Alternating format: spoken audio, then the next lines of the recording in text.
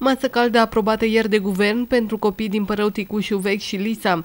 Guvernul României a aprobat prin ordonanță de urgență programul pilot Masa Caldă de acordarea unui suport alimentar pentru preșcolarii și elevii din 150 de unități de învățământ preuniversitar de stat. Până acum, programul funcționa în 50 de școli, așadar începând din semestrul al doilea al anului școlar 2019-2020,